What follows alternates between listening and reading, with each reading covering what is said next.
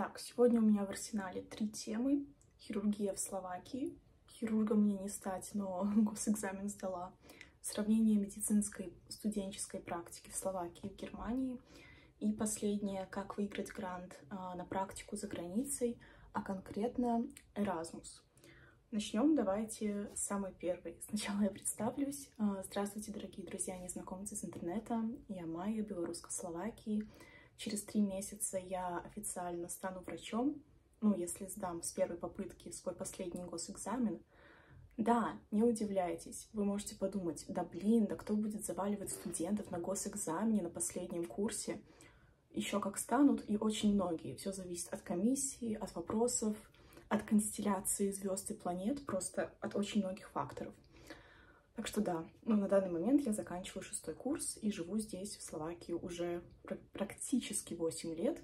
И планирую в ближайший год или даже полгода переехать работать в Германию, работать там, соответственно, врачом. Итак, как у нас в Словакии проходила вообще вся хирургия? Хирургия как предмет у нас э, начался на четвертом курсе, если я не ошибаюсь. Сначала это была хирургическая пропедевтика, это было еще во времена ковида, то есть у нас это все было онлайн, мы не видели пациентов, у нас даже лекций особо не, особых не было. Нам просто загрузили в MS Teams несколько презентаций, мы их смотрели, типа, потом сдавали какой-то тест или экзамен по этому. Больше хирургии у нас появилась на пятом курсе, но и то, как она у нас всегда проходила в Словакии.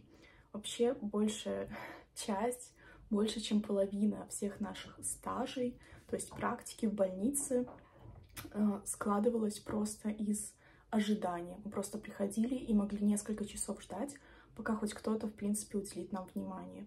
Или кого-то, одного-двух человек из группы могли сразу отхватить, отправить ассистировать на операцию.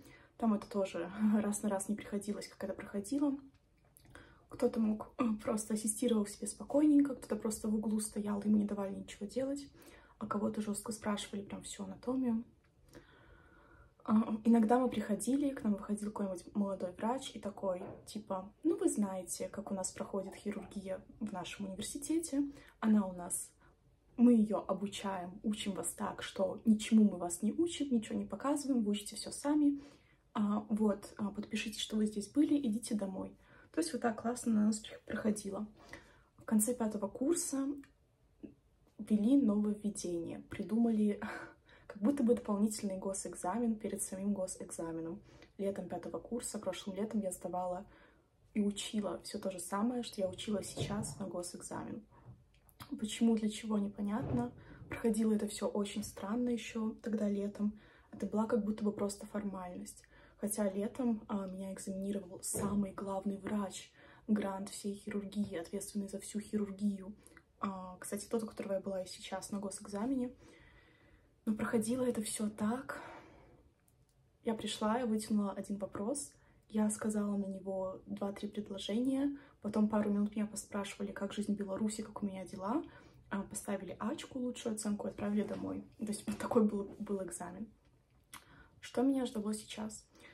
Сейчас у меня был госэкзамен по хирургии, вот 26 февраля, совсем недавно.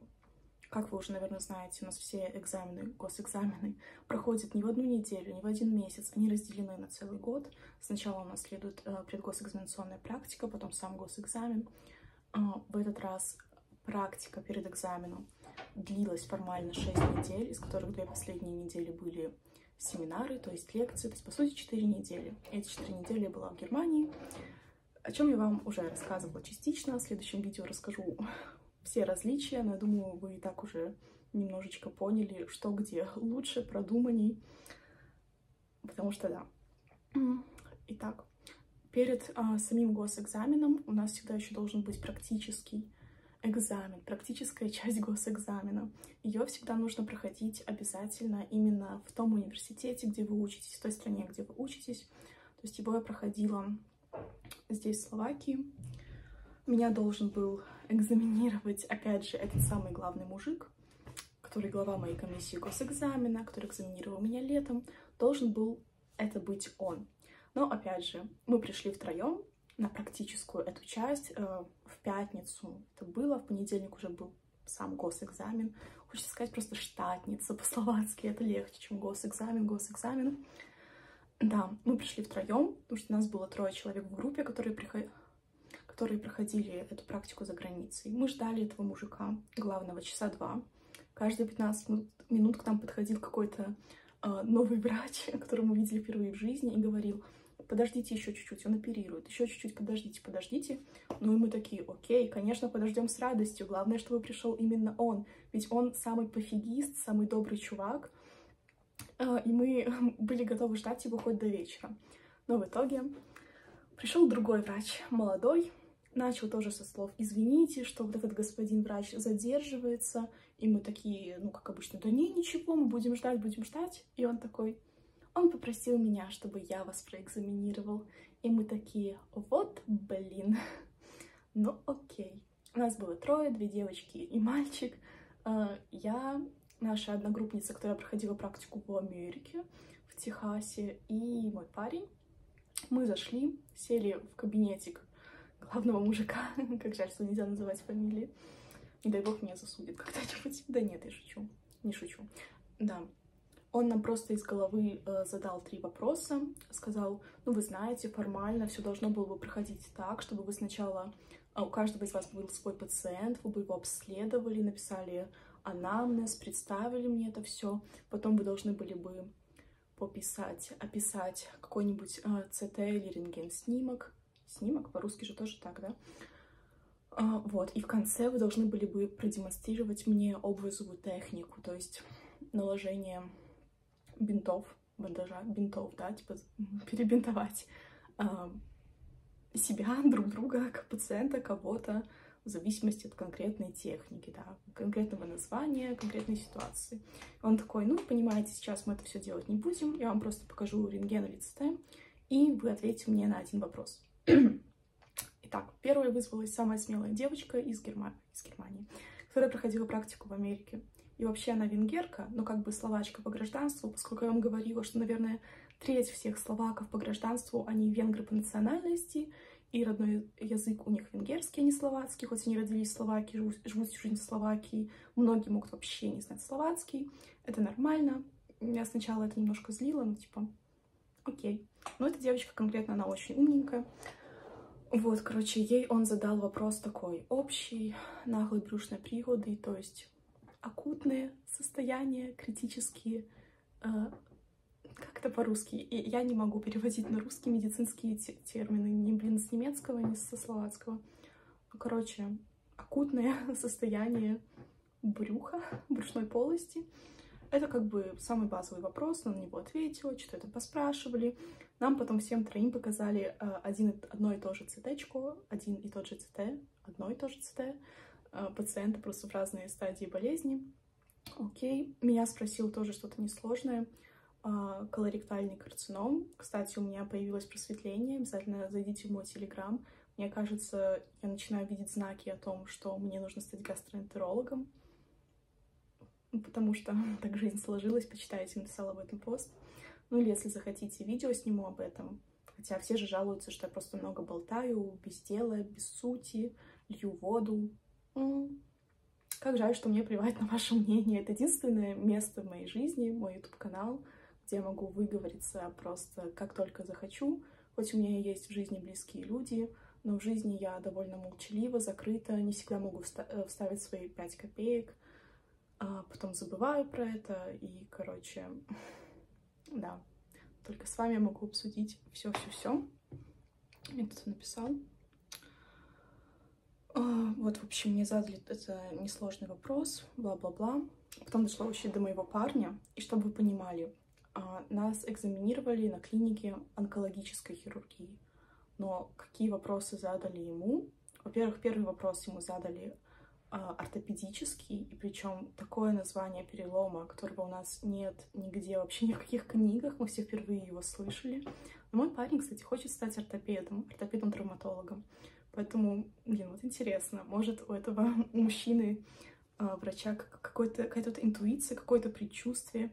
Посмотрел на меня такой гастроэнтеролог, давай колоректальный рак. Посмотрел на парня такой, м-м, ортопед, травматолог, он очень накачанный такой. А, давай мне, давай спрошу тебя все самые гадкие вопросы, которые не знает никто. Да, парни немножко поунижали. А потом... Потом вообще его начали спрашивать ОРЛ, оториноларингологические раки, карциномы, которых у нас тоже нет вообще ни в вопросах. А, на штатницу, на этот госэкзамен. Нигде ничего. А, ой, ну все, я, наверное, не буду об этом говорить, это правда было очень неприятно, очень некрасиво с парнем поступили, просто, блин, обосрали, реально. Обратная сторона сексизма, не знаю, расизм, возможно, всего понемножку, зависть, да. Эти хирурги словацкие, многие молодые, они когда видят или чувствуют тебе конкуренцию, например, видят, что ты парень, ну и у них в голове сразу, М, парень, скорее всего, захочет стать хирургом, М, будет мой конкурент, отберет у меня работу. Ну, как бы правда, в большинстве случаев так. Часто реально парни хотят стать э, хирургами.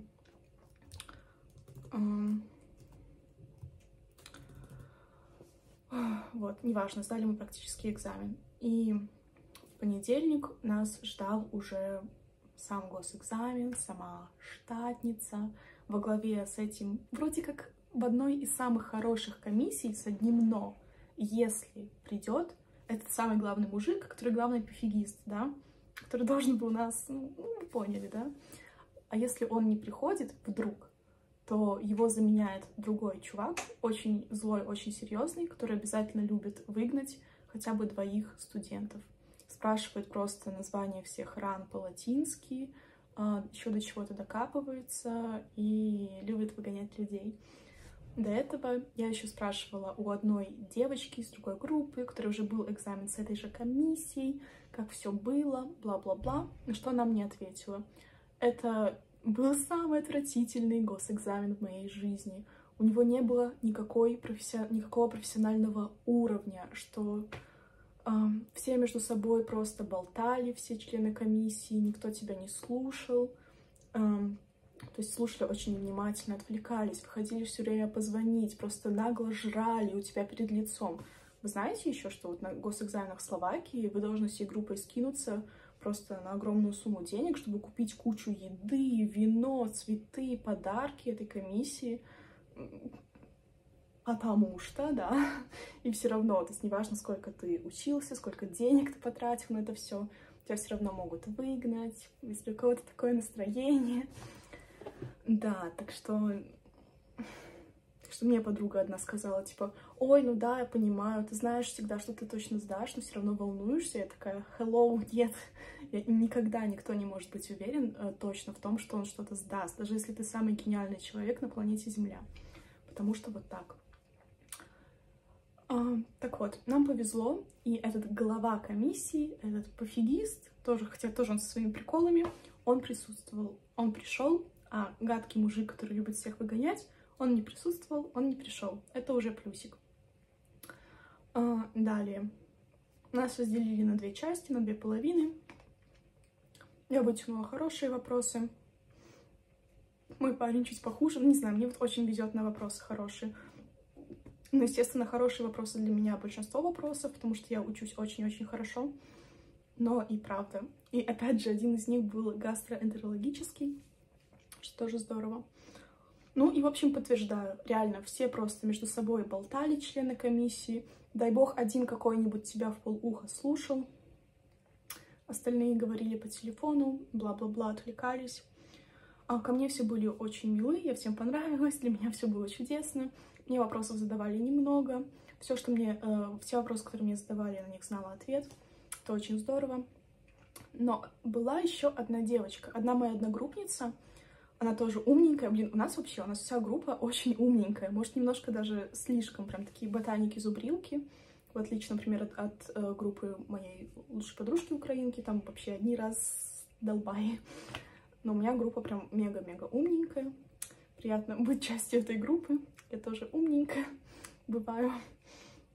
Вот одна девочка в нашей группе, у нее какой-то тахипсихизмус немножко. Она говорит всегда очень-очень-очень быстро. То есть она очень умная, она говорит все правильно, все по делу, но очень быстро.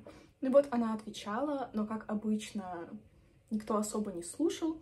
И в какой-то момент этот глава комиссии такой, типа, ой, ты так быстро говоришь, я там не успеваю что-то слушать. Давай спрошу тебя что-нибудь, что я точно знаю, ответ на что я точно пойму. Типа, окей, и такой, давайте проверим вашу всеобъемлющую интеллигенцию, то есть вашу всеобщую интеллигенцию. Так он начинает спрашивать ее просто. Ты знаешь, что такое Сталин? Ты знаешь, что такое Ленин? Ты знаешь, что такое Ги? Лер. Не знаю, можно ли это слово на ютубе говорить. Просто начал ее спрашивать такое, там, не знаю, про Советский Союз, про Вторую мировую, какие-то странные факты. А, мне хочется верить, что она это все знала. Она, наверное, была немножко в шоке, то есть она так отреагировала, типа, извините, у меня экзамен по хирургии, а не по истории, почему вы задаете мне такие вопросы? Немножко напряженненько было. Но в итоге, короче, все прошло отлично. Это был самый легкий и самый быстрый госэкзамен. Но, как вы понимаете, в этот раз, правда, нам во многом очень-очень повезло. А, ну, и то, как вела себя комиссия, реально непрофессионально, неуважительно. Ну, окей, как бы это сыграло в целом нашу пользу. В конце нас, все, нас всех похвалили, сказали, что мы удивили их своими знаниями. Ну, наверное, потому что мы просто все очень много говорили, они не слушали, что мы говорили практически. А, всем поставили самые лучшие оценки, то есть А, за исключением двух человек. Угадайте, кого? За исключением самой первой девочки, которая отвечала самой первой, тоже непонятно почему, она все отлично знала, тоже у нее всю жизнь одни Ачка, лучшие оценки, и за исключением моего парня, опять фиг знает почему. Его единственного в конце, когда вот мы дарим им цветы, они нам жмут руки, каждый член комиссии по очереди нас поздравляет, ему единственному, его единственного в этот момент похвалили из нас всех, но при этом дали ему оценку самую худшую. Типа не прям плохую, ну, ну чуть-чуть хуже, да, то есть странно. И чтобы вы понимали, мы все закончили отвечать уже. Каждый человек, нас 10 человек в группе, каждый вытянул три вопроса. А, и мы все это ответили еще до 10 утра, с учетом того, что сам экзамен начался в 8 с чем-то, может, 8.15. Мы, как обычно, ждали долго эту главу комиссии. Вот, это было мега быстро. Потом где-то полчаса или час мы ждали, пока они посовещаются, примут решение. Хотя, скорее всего, они в это время просто заперлись и продолжали обсуждать какие-то свои истории из жизни э, и набивать себе пузо. Просто реально. Представьте, ты на госэкзамене, у тебя невероятный стресс, ты все отвечаешь, может, в чем-то не уверен, не знаешь, правильно говоришь, неправильно, и максимум один человек тебя в полухо слушает, а рядом сидит, сидят двое, включая главу комиссии, и очень громко друг между другом говорят, как бы перебивая тебя, такие типа, о, ну чё, как дела там у твоей семьи? О, а чё там, что ты кушал на выходных, да, просто, это такой, М, ладно, ладно, у меня госэкзамен. Да, так что я очень рада. Я уже практически врач. Мне остался всего один экзаменчик. Хирургом я не буду, но хирургию я сдала. И так, блин, невероятно круто выходит, что пока что все эти госэкзамены, защита диплома, все я сдавала, защищала на самую лучшую оценку. Я, я прям морально готова к тому, что с последним госэкзаменом так не будет, потому что у нас самая плохая комиссия, и в главе комиссии ректор — не, не декан даже, а ректор, да, или он декан, не знаю, короче, самый главный чувак чуть ли не всего университета или всего нашего факультета, очень жесткий мужик, странненький, старенький, своими заскоками, так что там я морально готова к тому, что так все успешно не будет. Хотя, по сути, это будет экзамен по тому предмету, а, в направлении которого я потом собираюсь работать. Ну, в общем, ну, в общем, вы поняли, так все прошло.